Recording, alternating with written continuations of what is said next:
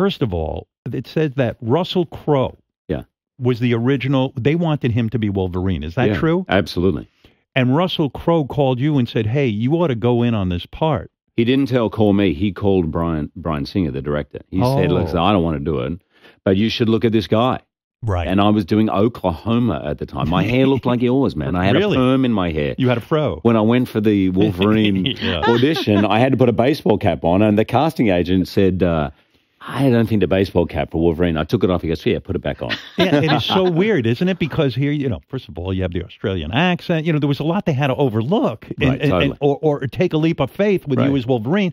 Plus, you knew nothing about Wolverine. You thought you thought it was about wolves. You thought you were I playing didn't a know there was. I didn't even know. I'd never heard of X Men. I didn't Right. know there was an animal called a Wolverine. I thought it was like one of those Shazam. It's a made up like comic book animal or something. And I came to set after studying wolves, and I had this whole physicality. yeah.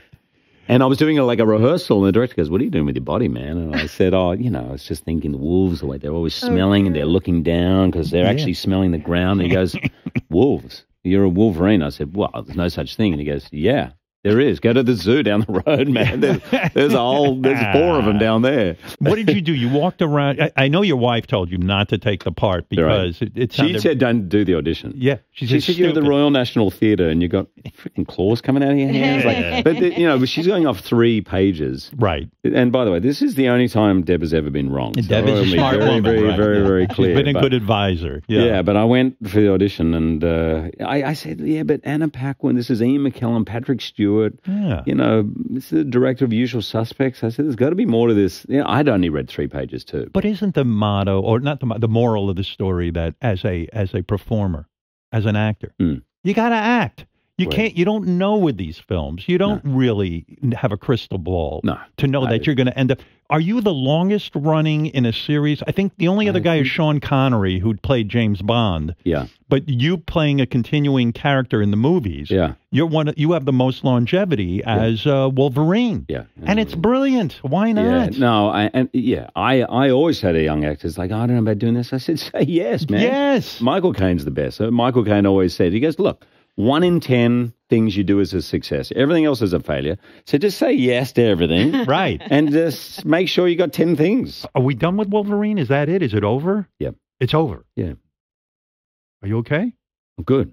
We're all right I with it. I feel good because I was really proud of that last film, and I felt Logan. like, Very good. Yeah, I Yeah. loved Logan. I loved Yeah. that film. yeah, thanks, man.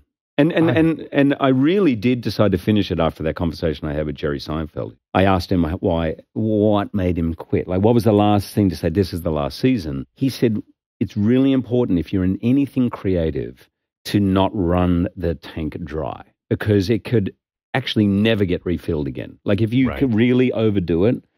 He said, so you leave while there's something in the tank, and that will propel you into the next thing. Who knows what the next thing is? Right. It's good. But Mm. how do you know when there's not? Maybe there is more in the tank. You it's know. just a it's just a gut feeling. The moment he told me that story, I was like, oh yeah, well, you know, Sean Connery made his last James Bond film right. and then came back. did he? Yes. oh, yeah. He's Ah. like, fuck what I said. How much money are you giving me?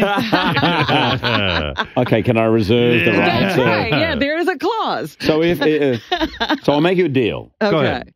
If I change my mind, I'll tell you guys. All Please. right. Yeah. All right. Yeah. We give you permission. Believe me. You're I'll terrific. do it at here.